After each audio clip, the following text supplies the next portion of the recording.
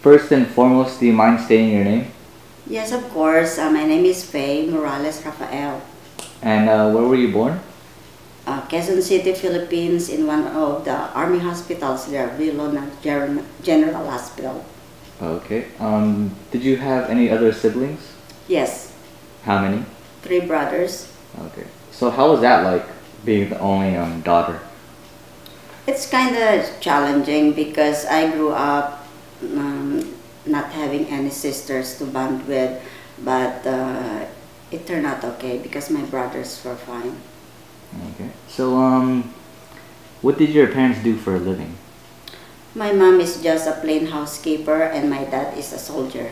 A soldier. Did you um, was your dad ever away when you were growing up?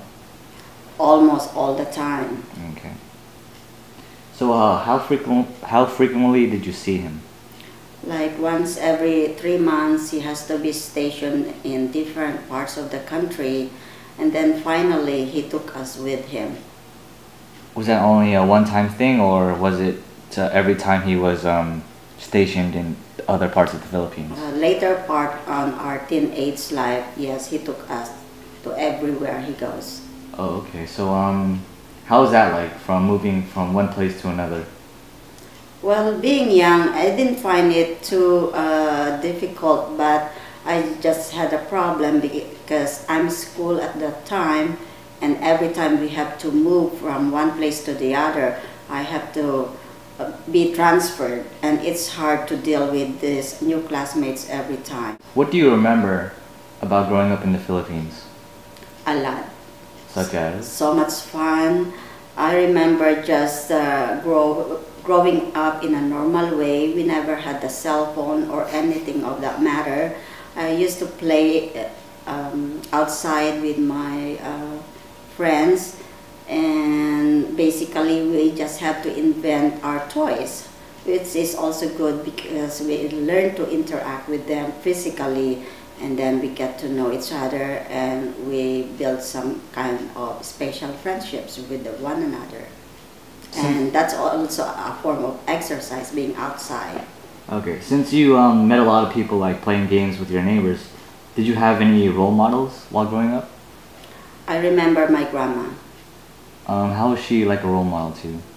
well she has always instilled in me the importance of being a good uh, christian she always tells me to go to church every monday and always uh, fear in God. And my mom also taught me how to be a good cook and to respect the elders. Okay. So um, how have they impacted your life? Like, do they like plan any of your goals for your fu- future or anything like that?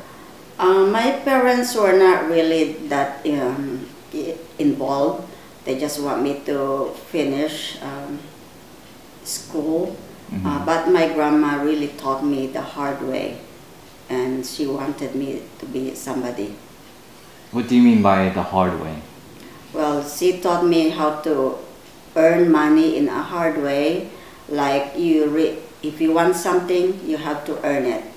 And if I needed money, you have to earn it. I have to sell vegetables from their garden.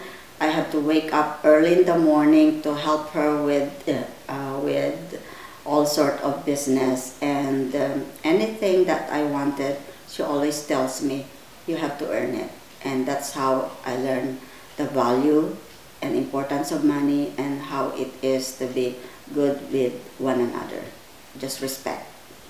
So you talked about the hardships of growing up. Did um, your siblings ever have the same morals as you? Uh, we grew up the same way um, with the same morals, I believe, because we had always been to, taught the same way. But being a girl, I think I played more importance with uh, all of this because boys tends to be boys. You know, they can be hard-headed and they can be. They tend not to listen so much. Did you know anybody that once lived in the United States before you actually went to the United States? Oh yeah, my uncle, the brother of my dad. And did you hear any like news of the Philippines? Like what did they say? Actually, he's the one who encouraged me to become a nurse. He said that being a nurse in America is one of the best jobs because uh, he said that they are paid one of the highly paid profession in America. So he said, come here to America and be a good nurse, and he thinks that I can do it. Did he talk about how life was in the Philippines or in the, the United States? Well, he taught me some stuff, but not all. Um, he just told me that I might have a problem dealing with some people because some people are uh, not too keen about working with Filipinos.